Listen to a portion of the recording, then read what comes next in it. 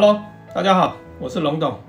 今天很开心跟大家又见面喽。先来跟大家揭秘，美国的顶级富豪们最喜欢什么冰箱？这几年在台湾的豪宅市场都可以看得到它的身影。美国的 B 品牌 Sub Zero 冰箱，那说到 Sub Zero，就必须要先介绍它的创办人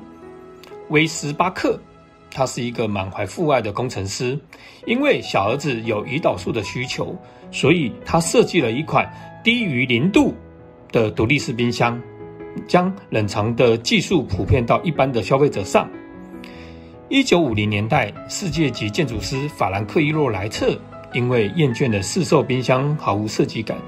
那逐步与 Subzero 合作设计了一款世界首创的坎路式冰箱。那讲到 Subzero，它的最具代表性的两大特色，第一大特色就是有一百帕的纯手工不锈钢冰箱，第二大特色就是它的温控可以控制在一度 C 的范围内。那以上我简短的介绍 Subzero 冰箱，如有任何想要询问的，请在留言区留言，谢谢。